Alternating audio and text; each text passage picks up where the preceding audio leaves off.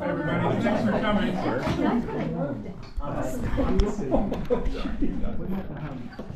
Really? Who, who organized this?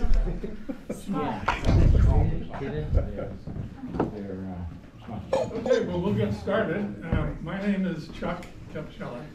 I'm going to be the uh, discussion leader today, and it's going to begin with a presentation. I'm going to, I thought my job was to do a little research into this subject, kind of bring it up to date, where it is globally and in the world, and then I guess we can decide collectively if the status quo, what we have now, is or is not a problem of some kind that needs somebody's attention. First thing I want to do though is give a salute to Classic Elements because it's here where they celebrate all of the classic elements. Now, this is one in this picture, of course. Here's another one. We had this one just the other day, music. Another one would be art, and then literature, books, of course, are celebrated here. Something that's very important now that we have this anti-book thing going on in some parts of our world. And of course, I think the classic element of all classic elements is dialogue about subjects of interest. And to model how to do that in some civil way um, through open-minded discussion of critical issues. So I guess Rodin um, thought of how to illustrate this first.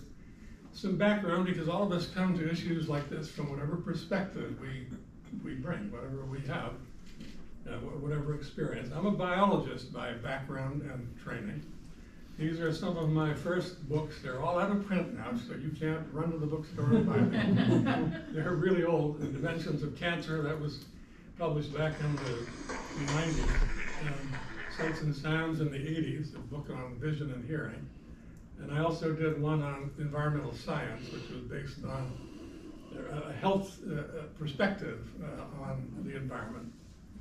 Uh, but these books, these are actually on sale back here at the bookstore. Uh, one on morality.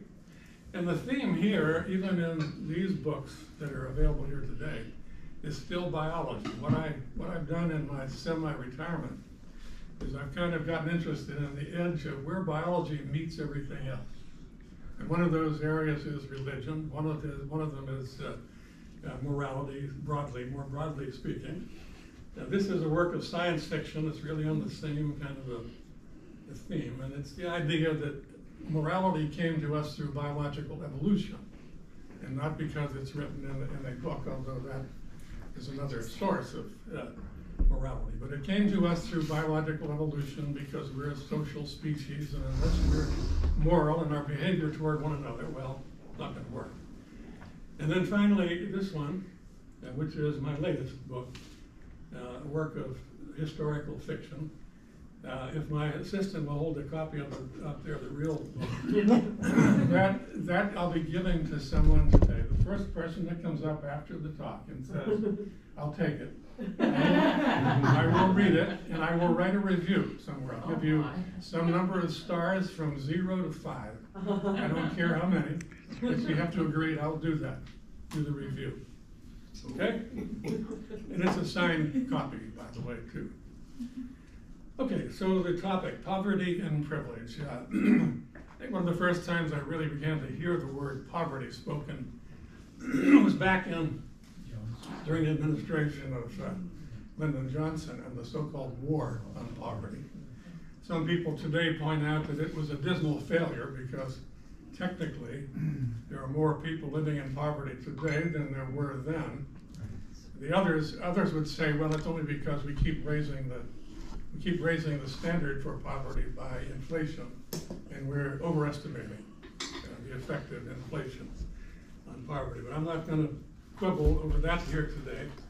Um, you can see on the map over there that we are actually part of Appalachia, which was the focus for the war on poverty. We're that little green county there in Pennsylvania. I think you all know where it is. The hot spot, of course, was eastern Kentucky, where and I spent some 25 years in Kentucky, so we're familiar with the uh, situation there. Next slide. some definitions I mentioned that one of the problems with has the war on poverty succeeded depends on what the definition of poverty was then and what it is now. And there's no single definition. It's all over the place. Every federal agency that serves people seems to have its own definition. They all, they all kind of hover around maybe halfway between the median income, this is about income now, poverty defined that way, and zero. So halfway to the median is thought to be, or said to be, the poverty line. And I want to make the distinction between inequity and inequality. Uh, inequality means not equal. There's nothing wrong with that. It's the, it's the, it's the order of the universe. Things are rarely equal. Um, but inequity means they're different and it's not right for some reason. It's too large. Um, so you can consider inequity and think of it this way. It's kind of like iniquity. It's a bad thing sometimes. But inequality is not necessarily. Uh, so it's fact of life and will always likely be. Next. Poverty can be something that's absolute. You don't have enough food to eat. You don't have a place to stay. You don't have clothing. Or it can be relative poverty. I've already suggested how that is with the different federal agencies that serve people in some state of uh, poverty. Next. You like the way you did that, Cheyenne. Uh, so it's not just income, of course, it's the effect of not having income that gives people uh, housing, uh, housing, clothing, food, insecurity. Environmental quality is a problem if you don't have enough money where you live and what you have to put up with. Opportunity is not always equal. Health care status and safety are not always equal. These are the things that come from money. And the latest one uh, that we seem to have gotten more interested in lately is uh, political power. And you all know the Supreme Court just a short while ago declared that money is the same as speech. And therefore you can't limit the amount of money spent by some uh, on politics. Uh, and so it's raised the issue, of course, immediately that, well, does that mean the more money you have, the more power you have, and therefore it does become inequitable as well as unequal, because now you can influence uh, how people actually come by money uh, because you have more of it. So an issue. Next. There's a lot of poverty in the world, and you've all seen these pictures. But I thought it would be good just to see them again, and we're going to go through them quickly. There's some. Um, next. Most of the world's people, 85%, that means it's, we're going to use the number 8 billion people in the world. So 8, 85% of 8 billion people live on less than $30 a day. If you're the sole wage earner in your family and you're making the minimum wage, you bring home about $60 a day, minimum wage, $7.25 times 8, 8 hour day. So if you're the only wage earner, your family is twice uh, that level of uh, 85% there. Half the world's people live on less than a 550, and there are 1.3 billion people in our world who live on less than $1.90 a day. This is what the UN uses as its definition of extreme poverty, $1.90 a day for the world. 750 million people as a consequence of all that lack adequate clean water. There are 270 million kids that have no access to health care whatsoever. None. Nowhere to go. No clinics. Nothing. 270 million. That's only a fraction, of course, of 8 billion people. Children would make up maybe 22, 25% of that uh, total. Next. Nearly a billion people entered the 21st century unable to read or write. One out of eight people in the world cannot read or write. Next. That's a consequence, of course, of income and economic opportunity. We're not going to get into this today, but because of all of this inequity and this low amount of uh, economic uh, power that people have, there's a whole area of sex trafficking and other ways of exploiting children and people throughout the world as a result of this fact that we have so much inequity in our uh, world. Next. The Poorest countries of the world, there they are. Somalia has four dollars and forty-seven cents in gross domestic product per person. You can see at the bottom, the US has about seventy. We're ninth on the list of world countries in uh, GDP per person. Okay, so countries like Monaco, quarter of a million per person. There are eight more that are ahead of us.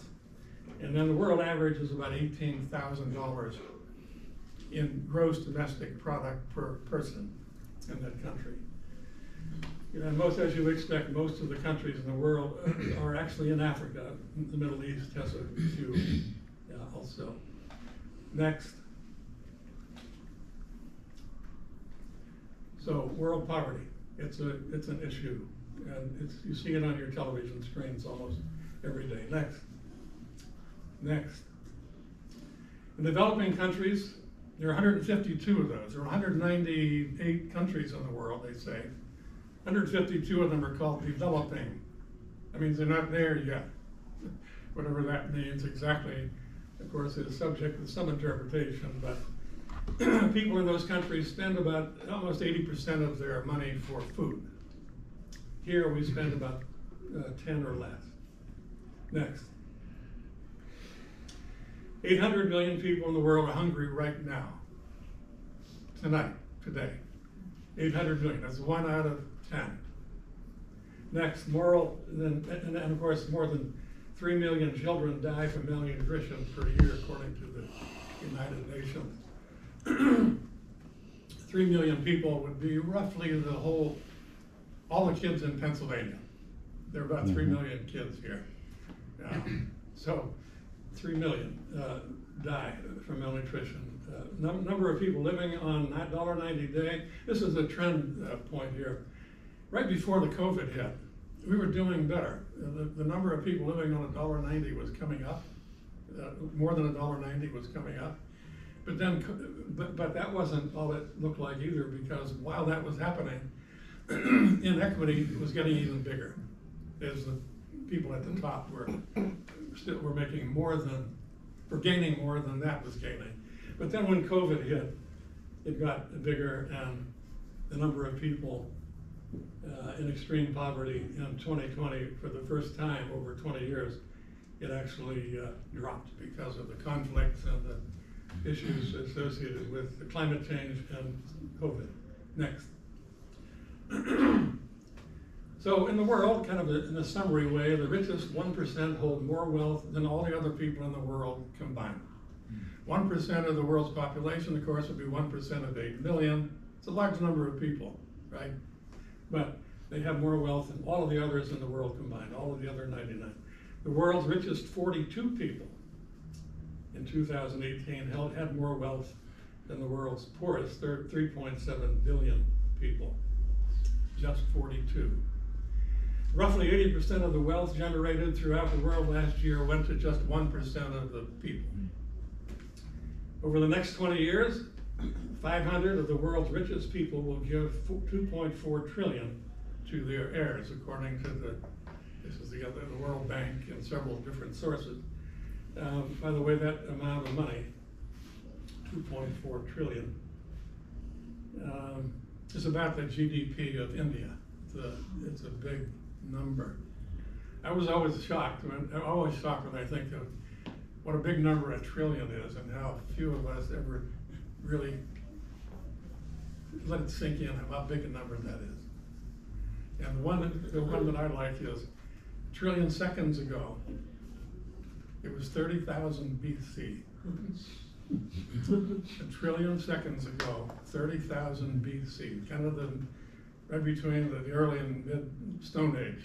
Okay, You can do the math, you know, not sixty seconds in every minute, just do it. A Trillion is a big number. Next.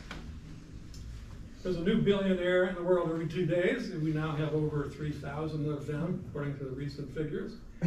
And during COVID and since COVID, billionaire wealth uh, went up by thirteen percent for everybody else, it went up two percent.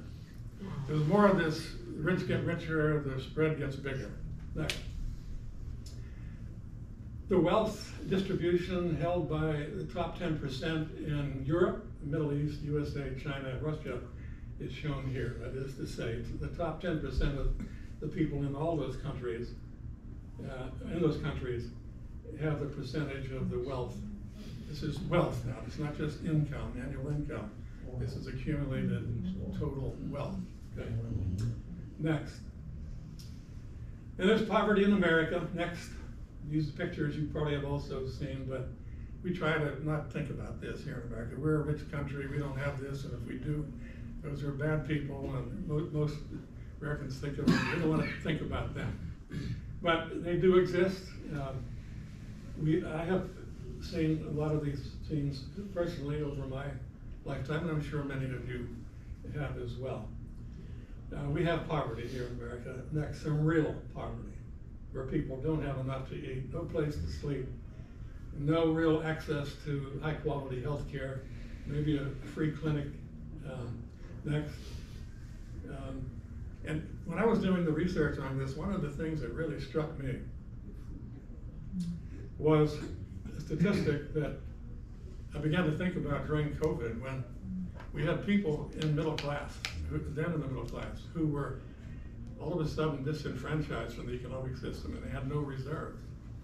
So they're in lines to go to the food banks during COVID. Many of you, I'm sure most of you saw these pictures. But here's the, here's the kicker, the next slide. Sixty-seven percent, sixty-nine percent of urban Americans live paycheck to paycheck.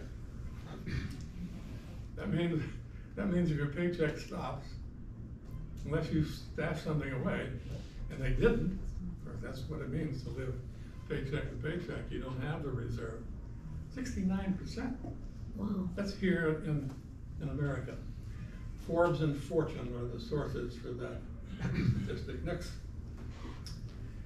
And I'm not gonna really have time tonight to get into in my introduction, things like the disparity in healthcare. This is the Mayo Clinic, on the right, this is a free clinic here.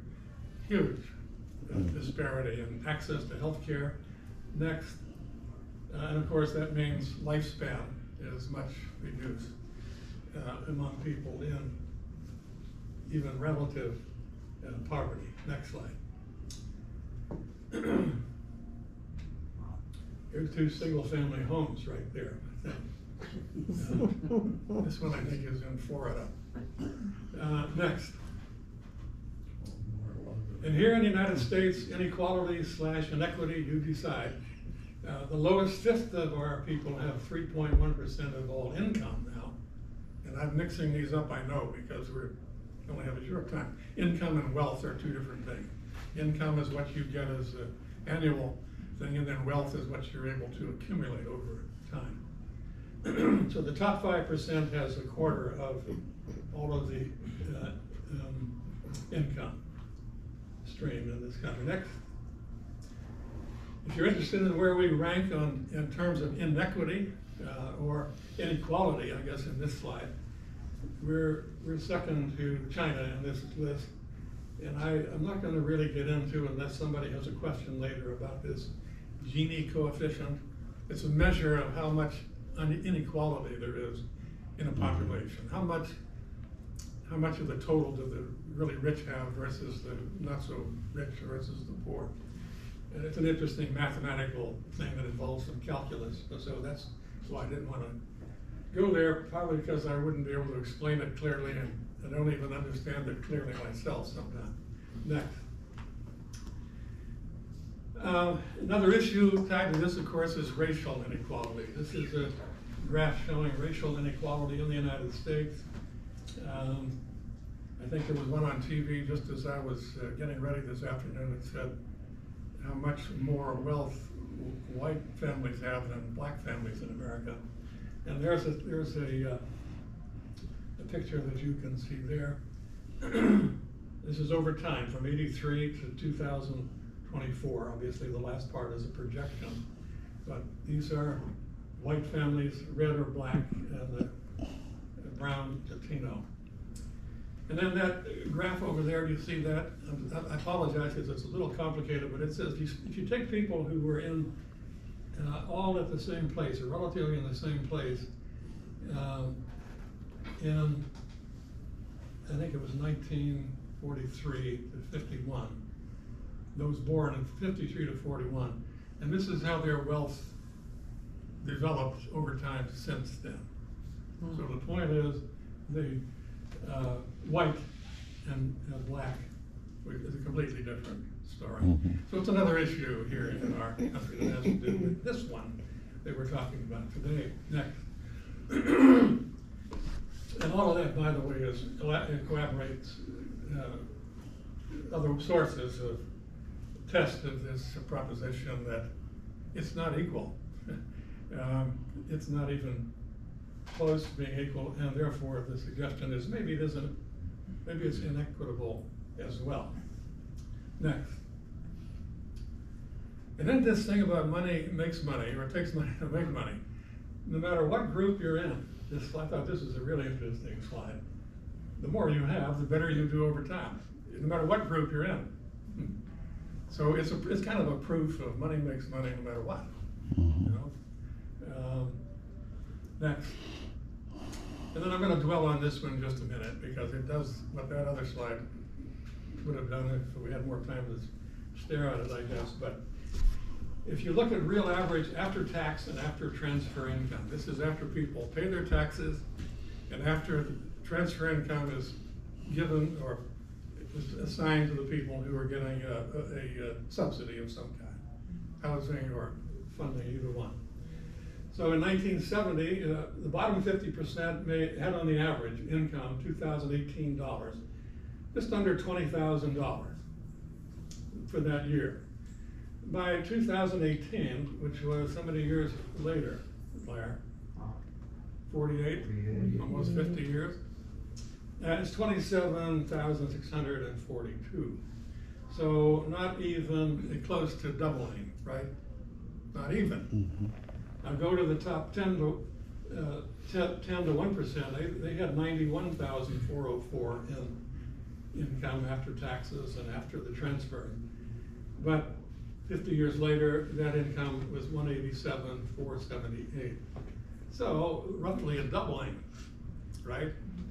But go over to the other, all the way to the other end and you see, and and this makes the point all the way across. The top 0.01 percent had three point seven million in income. Cheyenne needs And to step 20 away for a sec. Pardon? Okay, Cheyenne needs to step away to let me out, sorry. Okay. Adele? Adele. It's confusing you up. Take your time. So is this clear, the point that this is making here? If if you start out with three million in income, that group has twenty-four million in two thousand eighteen, which seems to me is like seven, eight, six, seven, eight times more, uh, money, more income. So that's, that's the pattern that you see. Next.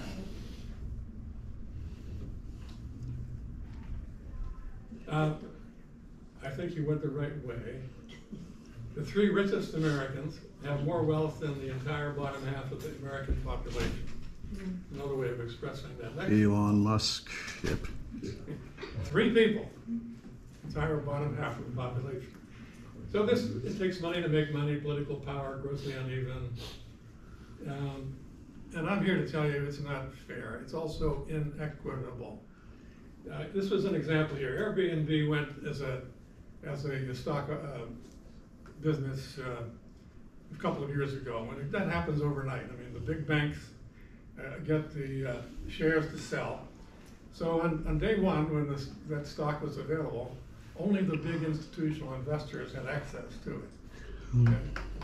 So what do they do? They buy a lot of the stock. Now, I admit there's a little risk to doing that, but in this case, there was hardly any. Uh, we kind of knew where this was all going. But nobody else can buy the stock that day.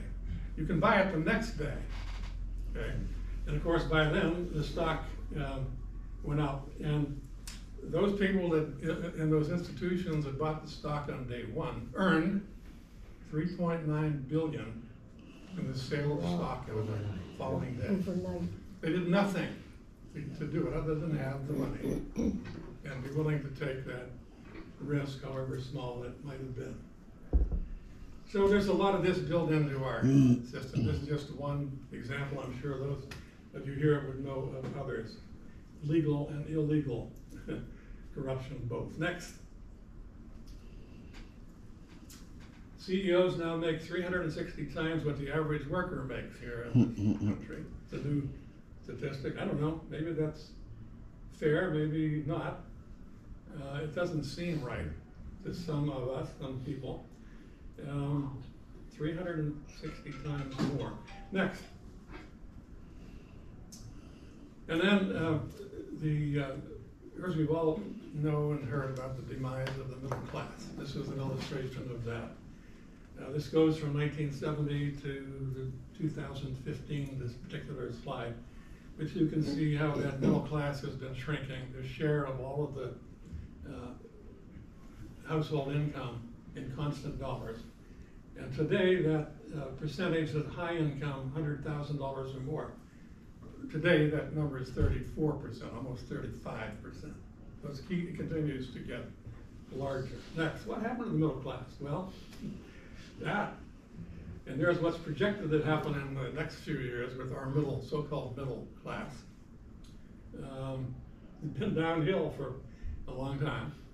Next, this shows the correlation between union membership and, and the middle class. Now, correlation doesn't prove cause and effect, of course, we all know that. Still, kind of interesting that they run pretty close together. Uh, and you've heard it said, I'm sure I have, that the middle class came about because of unions back when they were much stronger than they are, a much bigger part of our economic fabric than they are today. Next. So the causes of this increased inequity, demise of unions, technology, jobs to Mexico and China, global competition, uh, fixed minimum wage over a long period of time. It's still, still here in Pennsylvania, I think seven dollars and twenty-five cents an hour. Next. That's the federal minimum wage, and Pennsylvania doesn't add anything to it. So I, the rest of my uh, presentation here is about, I want to give you something to think about, like, okay, why, why, why might this be a problem? And if you look around the world today, our world, where we live, right here, and watch television, we've never seen such divisiveness. We've never seen people so upset with government, with uh, the institutions, with questioning everything from the FBI to uh, people are mad. They're angry. And I'm submitting, I'm gonna, my point is, this is one of the reasons. Now, we, we've always thought about if people get, if it gets to be too inequitable, there's revolution. Okay, that happens. It happened in France, this was the Bastille, uh, in the, at the end of the uh, seventeen hundreds. It happened in Russia in nineteen seventeen. The whole country was turned upside down and we would start over. It happened there, and of course, we, we think about this. And it's, it explains why we have a government that's been attentive to, we gotta make sure people have at least some support, because if they don't have any, they're gonna come and get it. They're gonna come and take it, so we have to make sure, uh, and you see that a lot in our policies over the last century or so, back to the middle of the eighteen hundreds here in this country. So there's that, but there's also what we're experiencing now. And my point is, a lot of people are angry because of this income disparity, of this inequity. And I'm gonna give you some examples, of a couple of studies that have, that, that kind of make this point. Next. Oh, by the way, uh, John Steinbeck wrote this book. Cindy, I'm sure you've read it. Yes, I have. Grapes of Wrath.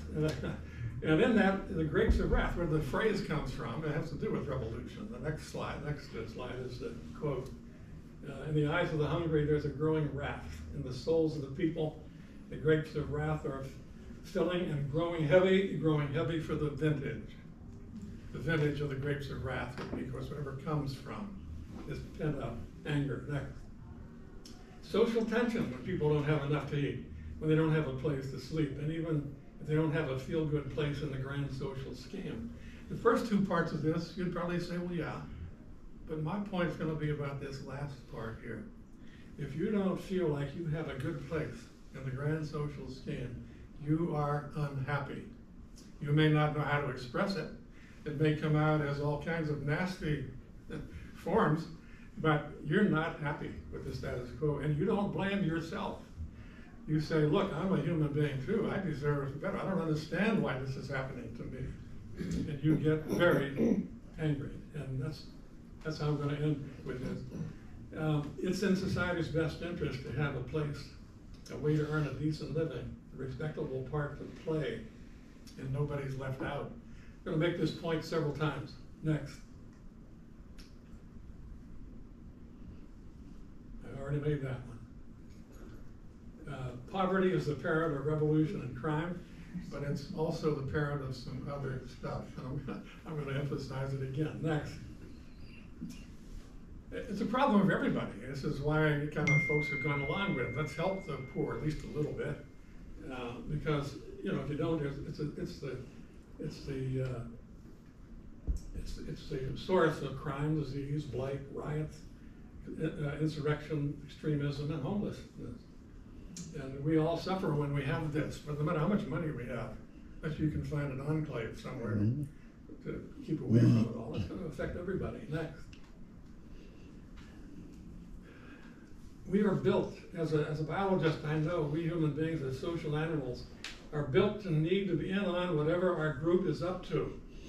We want to belong. We want to have status within our big group. We don't want to be also ranked. A couple of studies. Next, please. I'm out of this book right here, and I, I recommend it to you. It's called The Broken Ladder. And it is all about how inequality affects how we think, how we live, and how we die. So it gets into, you know, the, the death rates among those who are poor, but also how people think and how they live today. And I'm gonna cite a couple of studies that he's, that he cites in this book now, and end with those next. Oh, this is a kind of a footnote, this is also kind of a side note that another book about ladders had to do with, with gender inequity, it's another topic. But it is about how the lower rungs of the ladder in business are not really available to women because they're, they tend not to get into the, into the game early. They, they, they have children, so they take care of those in the beginning. And they miss out on those early runs and therefore they have no way to get going. And I have another, another topic, but a related one because it has to do with this metaphor of a ladder. Next. This was a study of people, not long ago, there was a news uh, item about a woman who was causing a riot on an airplane. She stood up and yelled at some kid and started a fight, and then the police had to take her off and she went to jail. And then we started hearing more about these fights on airplanes and planes having to land somewhere before they got to where they were going because there was a fight. Well, somebody did a study that said, you know what happens if people walk onto an, they, they, they did a measurement of frequency of disturbances on airplanes on flights where people in coach had to walk through first class. Then they compared that to fights, the rate of fi- fights on planes that didn't have first class. Then, and compared it, they compared that to the rate of fights on airplanes where there was a side door. You know, some planes have two doors, or you can then you go that way to first class, this way to, uh, to uh, coach.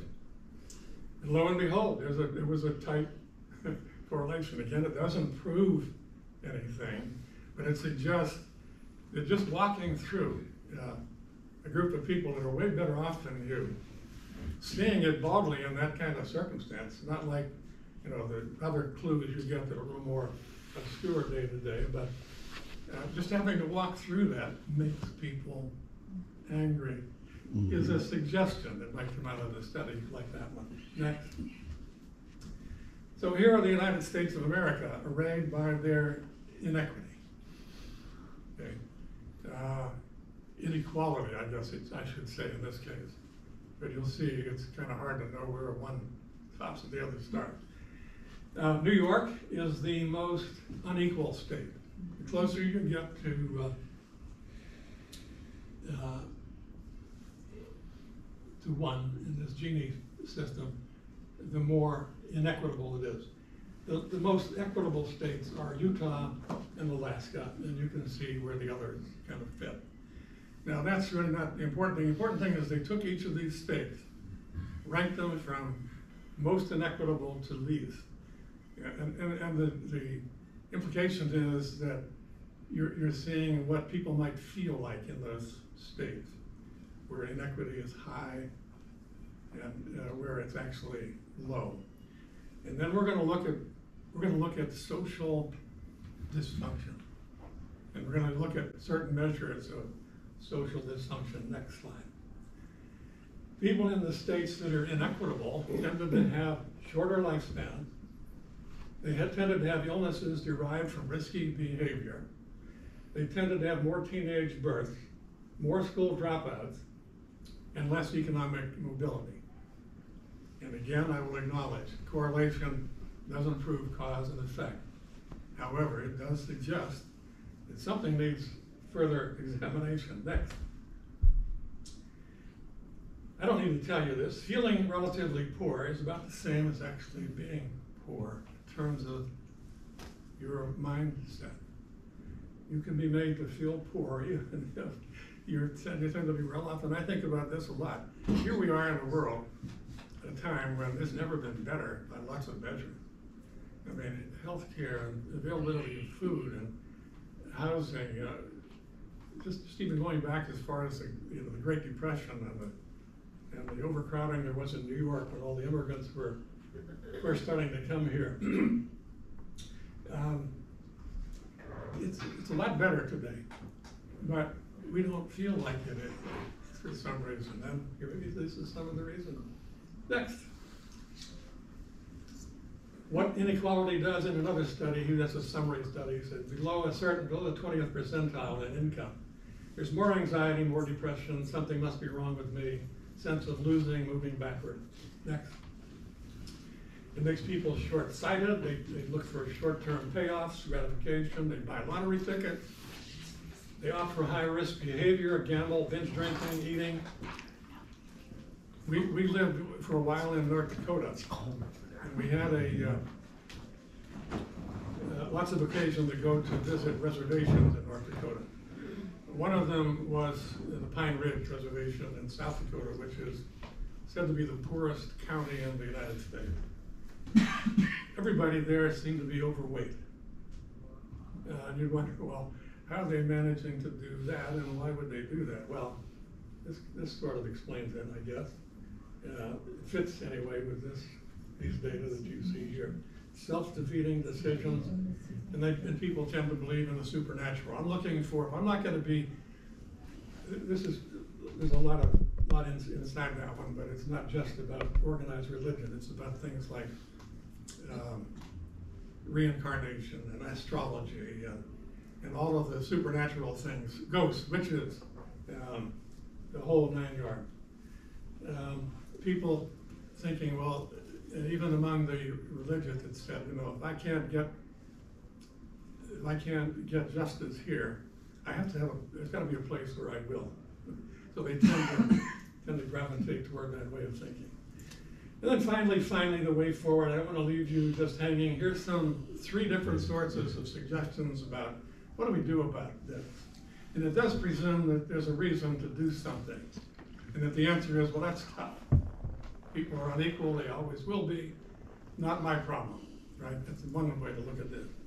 But if it is the problem, here are some ways people have suggested we move forward next. And I want you to have this image in your head.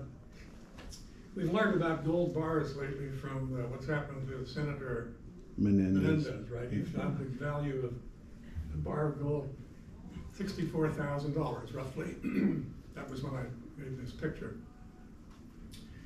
And of course, the value of that gold, next slide, is zero if there are no other people around who don't want it. Don't happen to want it for some reason, like to make gold pendants to give their girlfriends or make rings from it. So that guy, if he had a gold bar, it would be worth nothing to him unless he were to make uh, little weights, maybe to make a net. He could use it to go fishing, and that would be about it. It would have no value whatsoever otherwise. It takes a society that's functional for all the wealth that we have, no matter who has it, to be wealth. Somebody else has to want it before it's valuable, if you get what I mean. Just keep that image of the gold bar in your, in your head. And then, next. We have to make sure everybody has a place. Mandatory public schooling kind of gets at that, public higher education, parental care standards, workforce training, Little League and Scouts, curriculum standards, mentoring and internships, next. Um, Policies we need so that nobody falls below the bottom, progressive taxation, transfer payments, housing subsidies, we have all these. The United States is today probably the, just out of the top ten most socialist countries in the world, we, we all know that. Our, our, uh, budget for welfare type programs is in the order of a trillion, two trillion dollars. We're, we're, we've been, we recognize this as a country. Next. Jamie Dimon, who is the Chase Bank uh, CEO, and I think is a, is probably a conservative, had an article in, in Time not long ago, How to Save Capitalism. And he, here, here are his points, and you can read them. Bring everybody in, more inclusive, provide more and better skills training, affordable health care, infrastructure investments, everybody has a way to prosper, a foundation for prospering. Next. This was Payne, the guy that wrote the book on the ladder. He says, we need to compress the ladder. You have to make all the rungs in the ladder equally accessible to people with similar ability, regardless of their race and where they came from.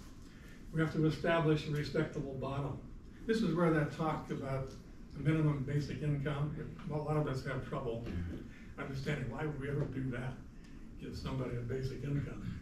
Well, if you, if you tie it to, you have to do some work too.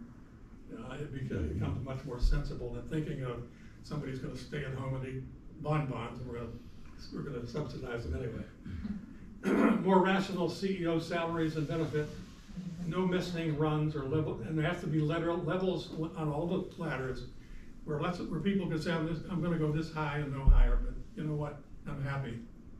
I can, I can get all I want out of life right here. I don't need to go any further. Next.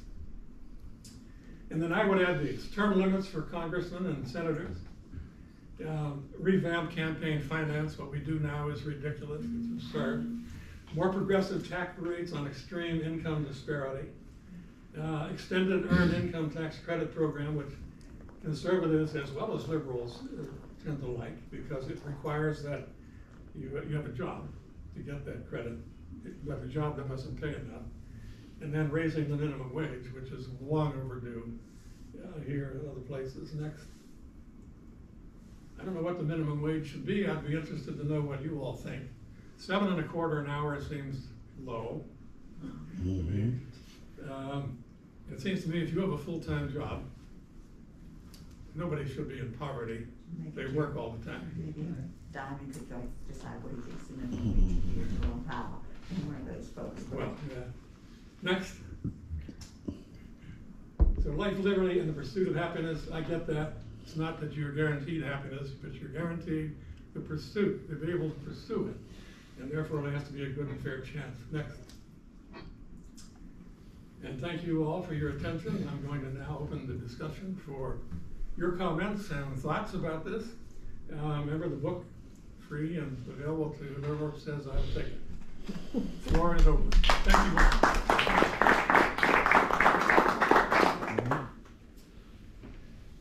all. I agree with you on term limits.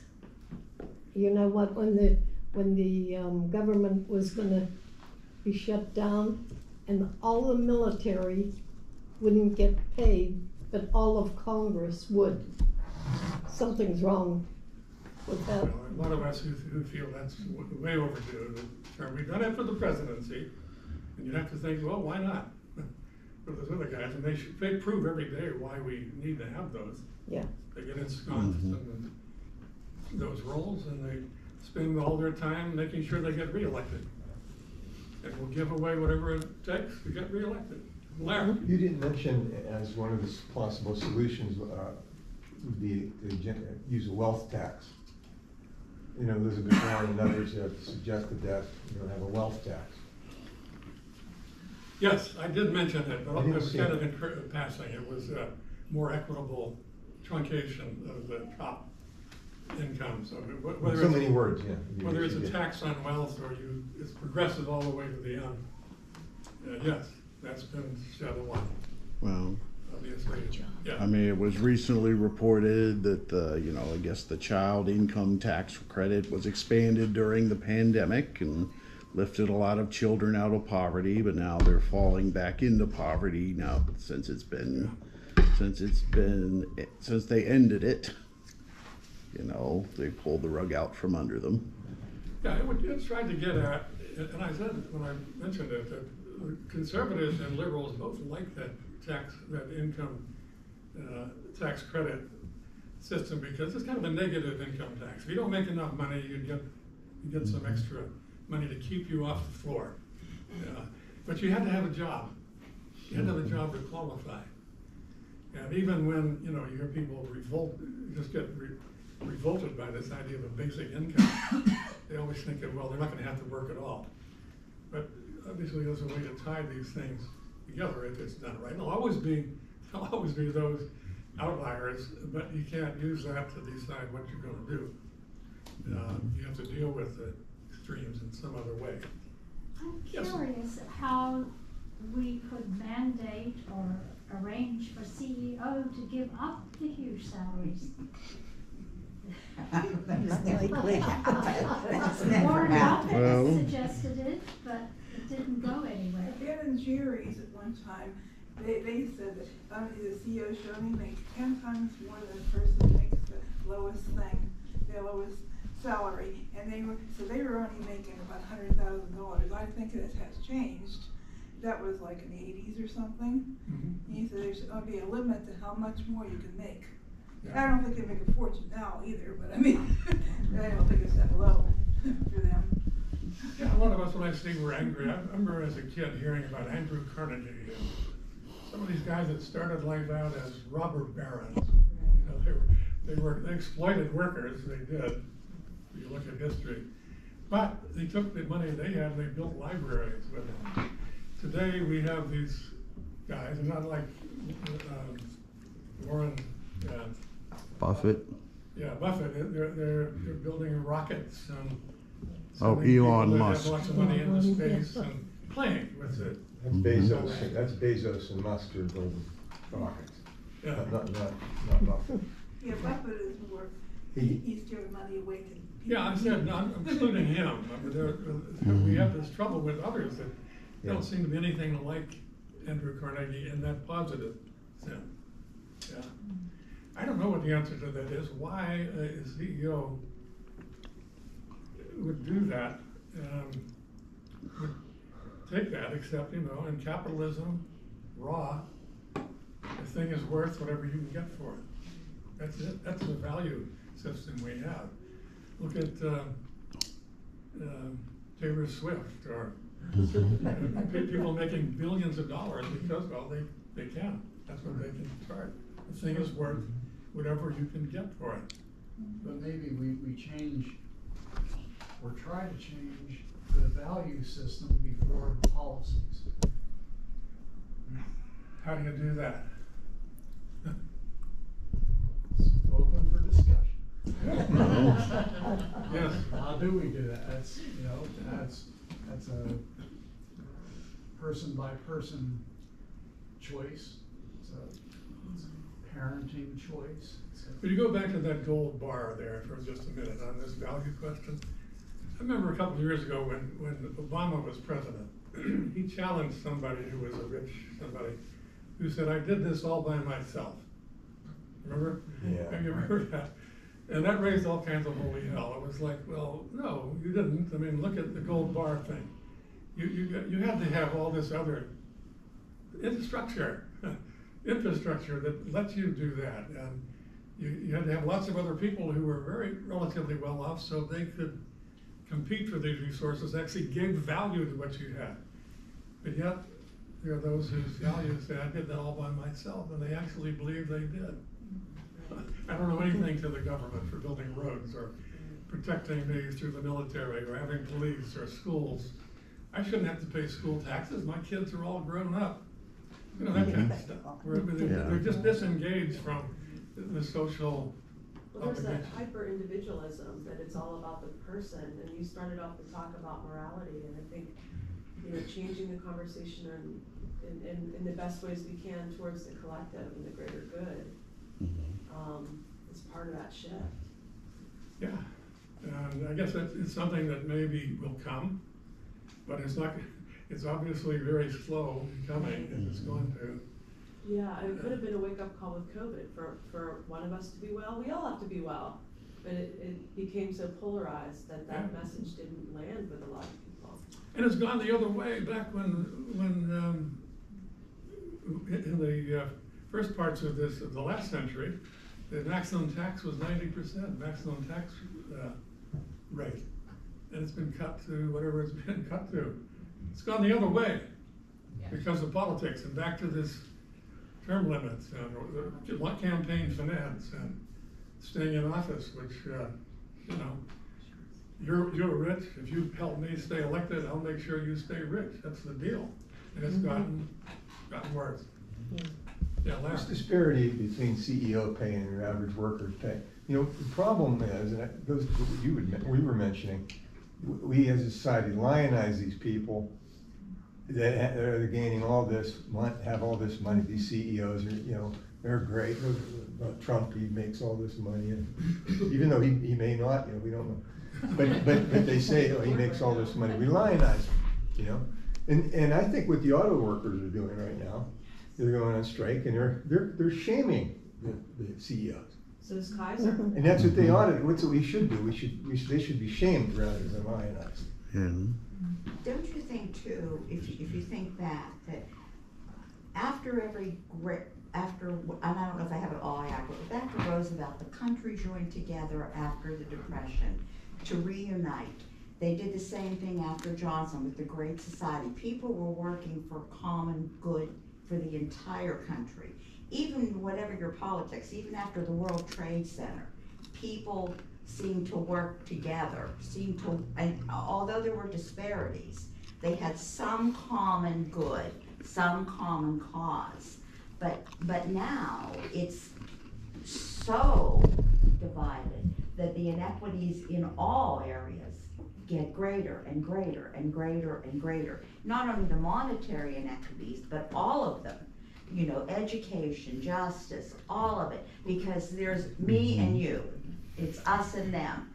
And I don't know if you can put that back, that back, you know, it's the old saying, can you put the toothpaste back in the tube? It is so great now, and the inequities are so great, and the divisions are so great, and the money is so great. You know, when you have somebody, when you gave the, the, the auto workers, I believe the, the woman who's in, who, her salary went up like forty percent, she makes like thirty-two million dollars a year. hundred and seventeen thousand Yeah, dollars a day. yeah, and, mm-hmm. and, and now I will give credit to some of the unions, whenever the writers went out. They were out for five months and unions Yeah. seemed to be strong then. To your point, and I'm gonna make this, give this thought, I like these metaphors and pictures. How many of you are gluten-free? How many what? Have to be gluten-free. You know about gluten? It's very families. I'm sorry. It's, our it's, if you families try to are- grow, if you try to bake something that doesn't have gluten in it, it doesn't stick together. And the- the gluten, gluten for me was the middle class, the big middle class, the, the center. You know, we kept talking about this in this last election, will the center hold? Remember that last? Mm-hmm. The gluten, it was the middle class. They're not there anymore. You have the, you have the extremes on this side, extremes on that side. We don't have anything to say to you. And there's no, no, no basis for discussion. And when we mm-hmm. vote, it's gonna be us versus you. Not this middle that's gonna actually be the group to make the decision. The gluten that held us together. I don't know, just a thought. Uh, because Adele keeps trying to bake things without gluten and. I don't. People, they're, once again, looking out for everybody. You want your daughter to Well. get sick? Well, I was just using it to make a point about holding together. Yeah, it just Yeah. seems like, and you think, you know, hopefully, maybe not in our, my lifetime, but hopefully it will come somewhat full circle. Hopefully there'll be a point whenever power doesn't become as important and, you know, it just mm-hmm. seems just so extreme. And it seems to get worse and worse with all of it, education, schools. I mean, states now banning books, voucher systems. So good schools remain good, poor schools remain poor. You know, we're making, getting bigger mm-hmm. and bigger about what we do here. And There's a lot of separate Gen us Zs more. out there and they're voting. Pardon? There's a lot of Gen, Generation Zs out there and they're voting. We're the mm-hmm. parent of one. Mhm. And they're, Yeah. they're, they're aware and they're concerned. Yeah. Mm-hmm. Well, you see this book here, it's, it's about our first Civil War, and the title is meant to suggest. Mm-hmm. Got another There one's be another coming. one. Actually- Actually, the first one wasn't the first one anyway, it was the Revolutionary War, it was the Civil War, and there've been several since. But it's the next one that this book says, hey, what went on back then, uh, the dysfunction in government, not my president. They said that about Lincoln. So many states, uh, actually didn't even have him on the ballot right before the Civil War. So very similar circumstances to today in some, some ways. And so the, the, toward the end of that book, the, the, the protagonists get into this discussion about, hey, I wonder if this could ever happen again. Yeah. Um, So it was fun, fun History writing it uh, from that uh, itself. perspective. Other thoughts about what to do? We gotta have Well- solutions before we can leave here today. Okay, well, employee-owned co-ops, you know, like, Yeah. you know, you need to democratize the workplace and, you know, obviously unionization, that's part of it, but, you know, basically if the employees own the means of production, you know, that, you know, that certainly is very empowering and, you know, certainly hopefully can lead a lot more creative solutions to problems, you know, than instead of people just be like, you know, employees being passive receptacles of what the owners tell them. Yeah. I, um, I worked at Verizon, and uh, one contract year, this guy, he probably got in trouble for doing this. He's like, he sends out this email and he says, oh, poor Verizon, you really gotta work with us because, you know, um, we can't be spending all this money, blah, blah, blah, you know, in, in essence. And I'm like, On salaries? Uh, yeah, Uh-huh. um, you know, whatever, you know, and I'm like, well, just go sell a couple of your big houses, or, you know, a boat or something, you know, the money's there, you just are hoarding it. Yeah. Yes, I think, uh, uh, I think you had a good point. This, this hero worship of rich people, this, this of rich people, it has to stop. You know, we have got, we have got a very unhealthy way of looking at people that make a lot of money in this country. Taylor Swift is a great example. Okay, she's got up towards, they're taking in a billion dollars. What does that prove? Does that make her more special than a musician in Johnstown who's very talented working in a band? You know what I mean? yeah. And, and that's what happens. We, we start to hero worship these people. We start to elevate them to a, uh, a position where they can, they can, they can make us feel that we don't have a valuable input. That they, they have all the answers. They have all the, uh, Would you like some cheese? I want to say, but they have all the answers. And I think, you know, we need to do that. I, the only way I can see that we can control this right now is legislation. Because I don't think you can just convince people out of the goodness of their hearts to give up their trillion dollar salaries and, you know, it's not gonna happen.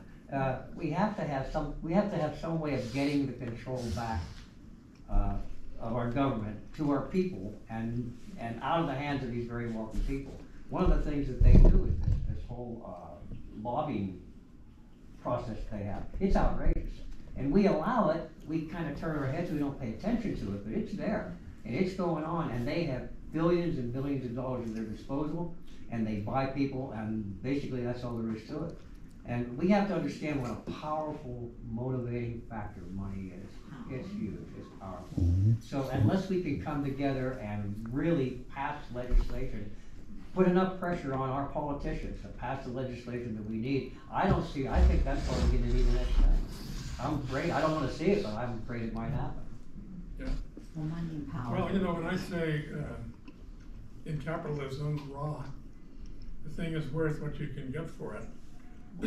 That sort of sounds okay in a way, but when the system is stacked so that only certain people can get what they get for it because of the position they hold or the struct, part of the structure they're in, that's when it, that's when it, uh, becomes problematic as I see it for it. Well, you had a great example with that, that IPO. The fact that these people could buy the stock a day before everybody else, that's just outrageous. And, and, and we all kind of put up with it. We go, oh, well, they're wealthy, somehow they deserve this kind of privilege. You know, they only deserve it because they have a bunch of money, that's why they deserve it. You know, and we allow it. Well, someone would point out that in that group of investors on day one, there were big, um, they, they were retirement funds that were in that too. Mhm. So it wasn't like it was just all that clean and, and neat, but you got the idea that Right. some people couldn't get access to it because they weren't in a retirement pension fund. But the anymore. managers of the funds make big salaries too, right? Yeah. So it's, you know. Right, yes, sir. So, so it didn't get any discussion when I, when I talked about, uh, teaching values and cha- changing our, our value system. Since you literally wrote the book on morality, what, what, what ideas do you have on like how to infuse, how do we infuse that? How do we, Well. do you think we should? The question is, where morality comes from, uh, is, is one thing. How to use it in a society like ours and how to apply it. What, what's it mean to be moral in a complex society like ours is, is still another one. And of course, we, you can, you see the jokes around, in, uh, on the, uh, internet every day, you know, uh, how is it, uh, what was the one today? It was about uh, being, being a good Christian, and it had to do with you can, it's okay to ban books because of your belief in Christianity. But it doesn't matter that kids don't have lunch. Uh, The same people making the argument. So it's like selective use of, I wanna take care of other people, I'll decide how to do that, I guess. Um, There are over three hundred 350, I think, is the number, uh, excerpts in the Bible about taking care of the poor. 350.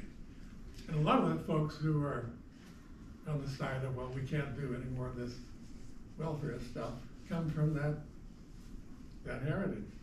I mean, it's, I don't know the answer to your question. How do you, how do you apply it? I just know as a biologist, where that comes from is, is, is first and foremost the fact that we got where we are as a highly collaborative species.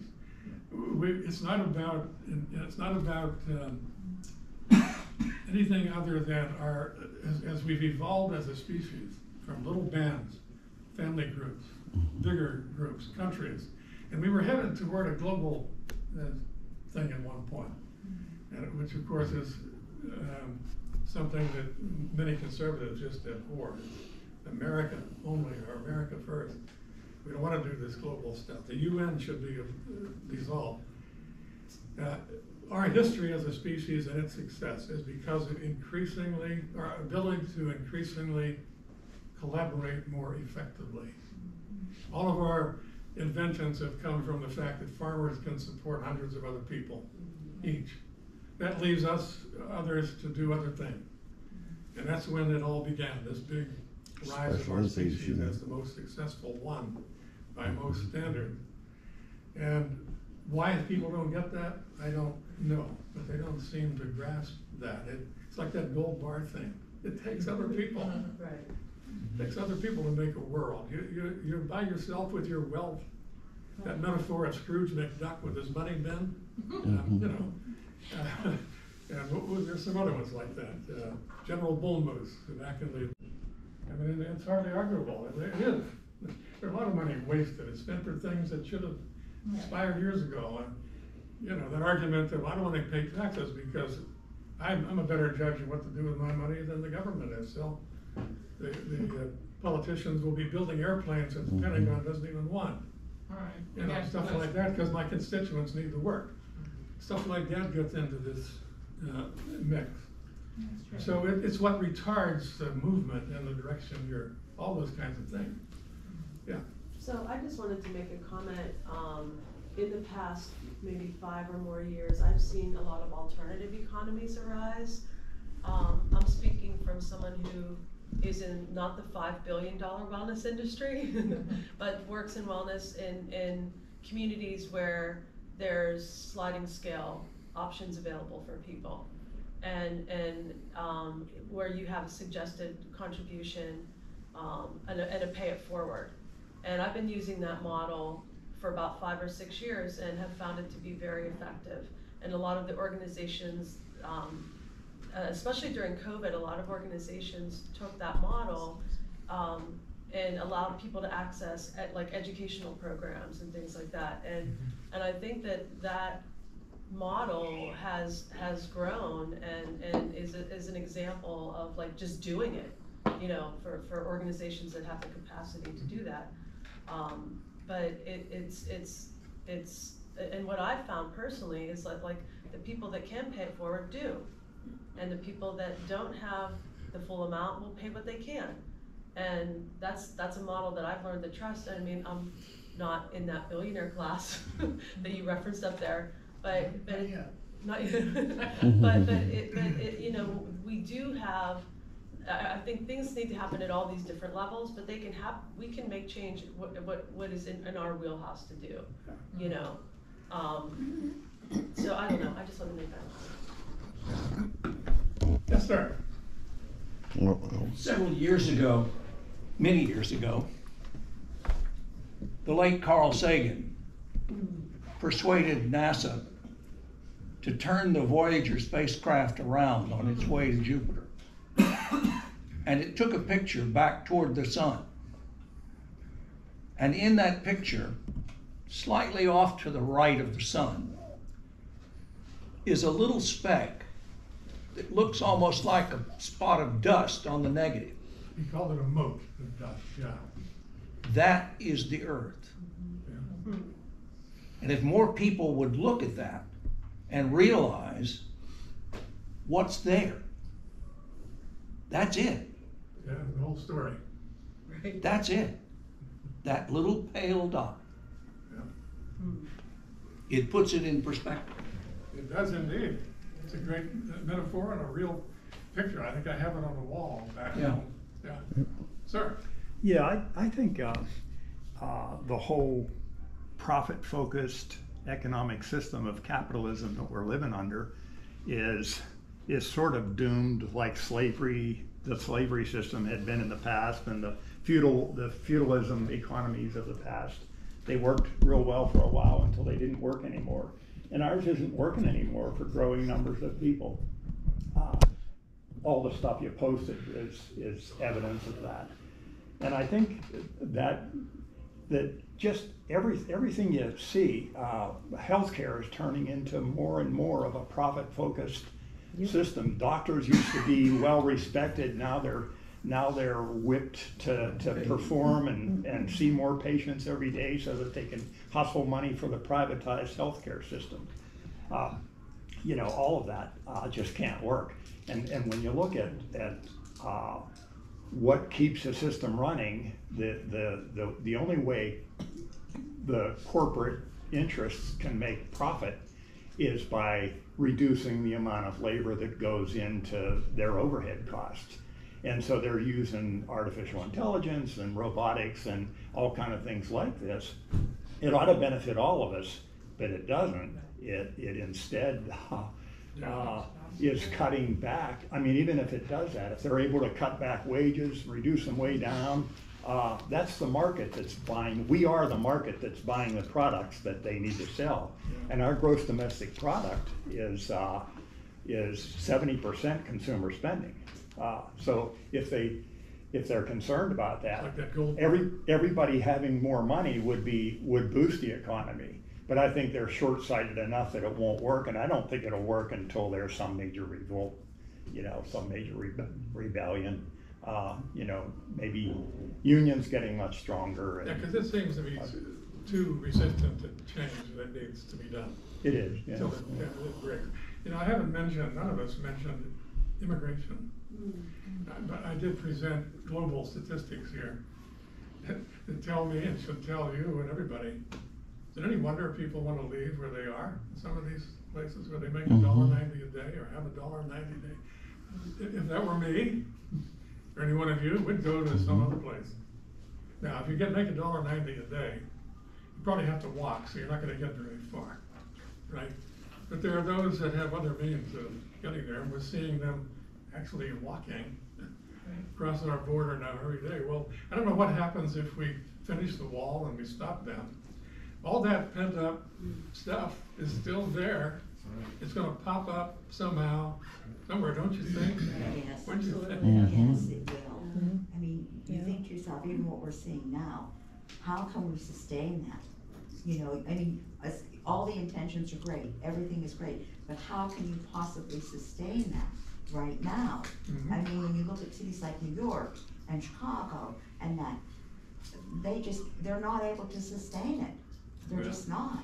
And, and biologically, the world seems to have realized at least one solution to this, which is lower birth rate.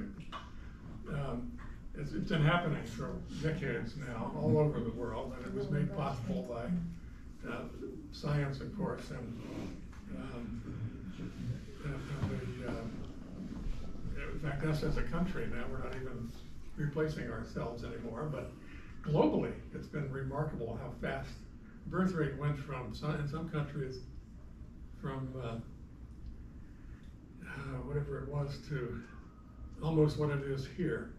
But today, listen to this. There are three people per second added to the earth right now, today.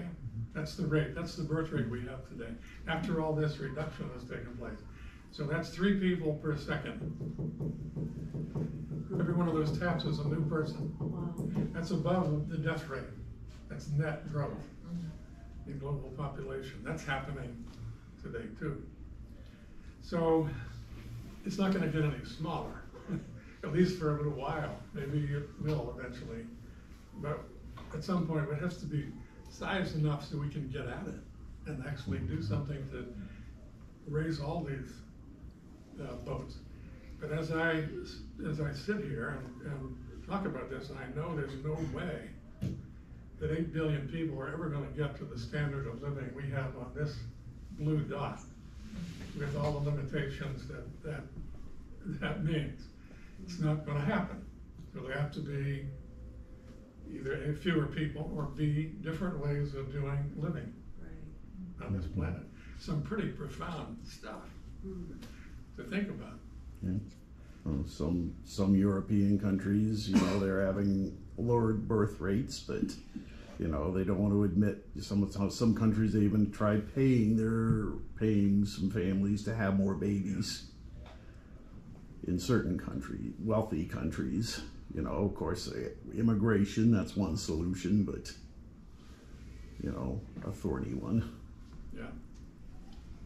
Yeah. So does this mean all the old people are screwed because there's, there are only gonna be a bunch of old people? And no young people? Who can teach us a whole lot of stuff. I'm trying, to- I've got to find a way to leave this, to end this with an upbeat uh, somehow, but at least there's, here we are having a discussion about this. I don't know how much of this is going on, but I hope there's more. Uh, and eventually, you know, maybe enough of a critical mass of folks that get it and that see that, uh, we have to keep work, looking for these solutions, even though some of the problems, I'll admit, I'm- I've already admitted, are intractable. Right. But not addressing them or discussing them, they remain, at least, Yeah. that so Well- few people critically think. Well, I want to thank all of you for being part of the discussion tonight. Thank you so much for being here. All right, I'll put in, I'll put in a plug for my book. You know, I talked about poverty in the area and African American life expectancy in the sixties in the county here. So You have a free book to give away today, Paul? I do not, but they do have copies on the shelf. Well, that's, that's better. They do have copies on the shelf at the local book. office. Yes, you can. How long